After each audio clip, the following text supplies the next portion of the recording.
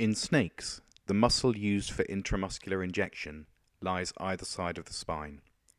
First locate the spine, as shown here, then gently squeeze the side and the muscles will become prominent. Inject in the front half of the snake, underneath the scale, facing forward.